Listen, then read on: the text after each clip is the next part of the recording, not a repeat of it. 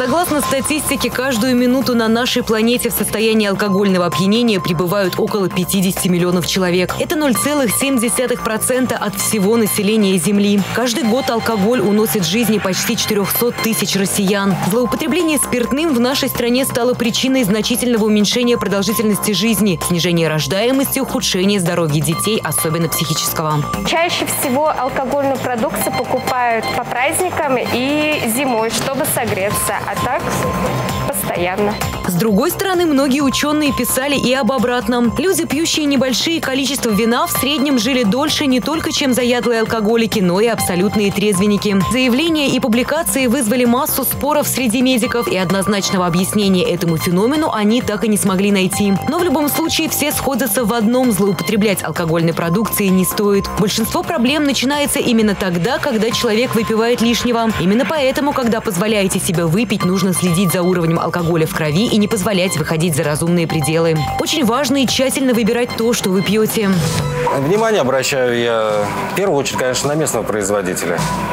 И смотрю, может быть, появились какие-то новиночки. Я большой разницы не вижу. Состав, в принципе, везде одинаковый, вода и спирт. И почему платить лишнее? Но разница все же есть, поэтому каждому потребителю важно запомнить самые главные правила выбора продукта, внимательно читать этикетку. Причем не лицевую сторону, это просто маркетинг, а контр-этикетку. Именно на ней вся информация о продукте. На хорошем напитке всегда будет сортовой состав. То есть, если мы говорим с вами про базовые вина, зачастую они бывают, ну, просто там красное полусладкое, белое полусладкое, без указания сортового состава. Значит, этот продукт, ну, давайте говорить так, в самом нижнем ценовом сегменте. В хорошем продукте всегда есть э, указание сортового состава. Это многое говорит. Вы должны понимать, что сахар в вине зачастую, в большинстве случаев, используется для маскировки дефекта продукта. Стоит обращать внимание и на возраст алкоголя. Вино – живой продукт и также с возрастом теряет свои свойства. Поэтому лучше выбирать вино, которое произведено не позже, чем три года назад. Кстати, если говорить именно о вине, то буквально в этом году вступил в силу закон о виноградарстве и виноделии. Теперь к бренду «Вино России» относится только продукт, сделанный из винограда, выращенного в нашей стране. В магазинах есть специальные стикеры, которыми отмечается эта категория. Она проходит дополнительную проверку соответствия. Сейчас многие производители, кстати, пошли на уловки.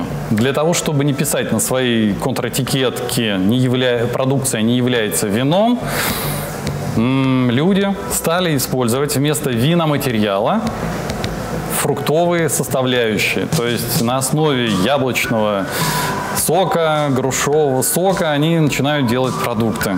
Это позволяет, так скажем, э, встать на одну полку с нормальным продуктом, не выделяться и быть как бы своим. Но это касаемо только виноградарства. В отношении других видов алкоголя нововведений пока нет. Вся алкогольная продукция страны контролируется единой государственной автоматизированной информационной системой, сокращенно ЕГАИС. Фактически с помощью этой системы государство отслеживает весь процесс производства и движения всего алкоголя по стране. Дело в том, что, как показывает статистика, около 30% алкоголя в России произведено незаконно. Это значит, что примерно каждая третья бутылка спиртного на прилавке контрафактная. А эта система позволяет ликвидировать большой канал сбыта на местах. ЕГАИС решил массу вопросов для конечного потребителя. Это большой плюс. Убедиться в качестве продукта может каждый покупатель. Для того, чтобы быть абсолютно уверенным в легальности продукта, Федеральная служба по регулированию алкогольного рынка разработала специальное мобильное приложение. С его помощью можно сканировать акцизные марки продукта. Я уже скачала приложение на телефон. Вот заходим в него, берем любой продукт, наводим на акцизную марку, тут она развернута, и сканируем. Здесь видна вся информация, кто производитель, емкость, крепость. А это значит, что продукт сертифицирован и в его качестве точно можно не сомневаться. Это не единственный способ проверить подлинность товара. Также узнать всю информацию можно и по QR-коду на чеке. Когда вы приобретаете алкогольную продукцию, у вас выходит дополнительная секция чека. Здесь мы вот можем видеть вот эта часть, она включает в себя дополнительный QR-код.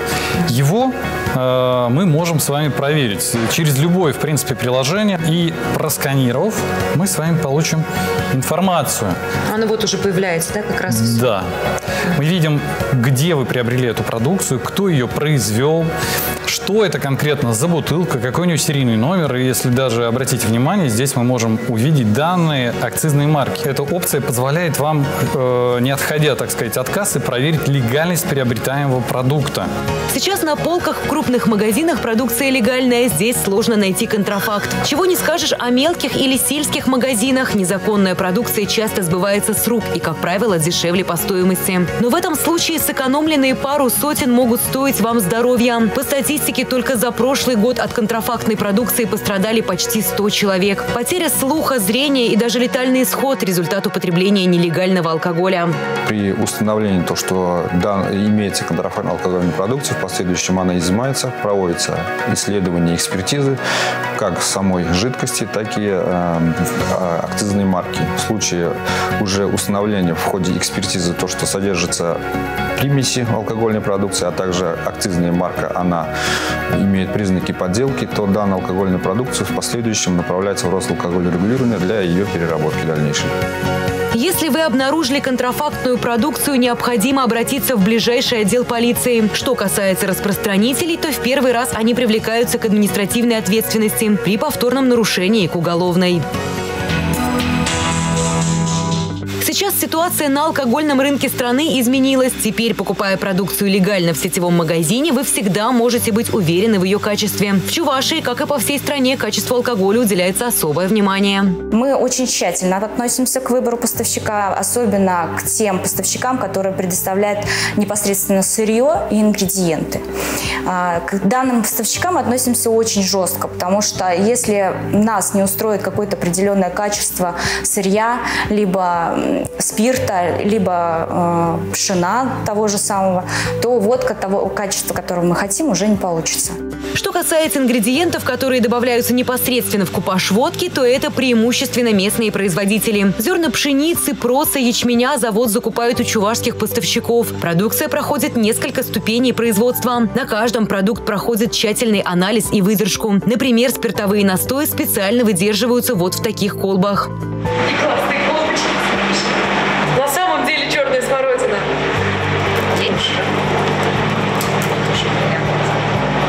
Груша. Я уже напилась. Готовый продукт тоже проверяется. Анализируется крепость, щелочность, микрохимические показатели. Мы проверяем уже, естественно, щелочь. Щелочь мы мы проверяем следующим образом. Мы берем анализируемый раствор, берем 100 мл раствора,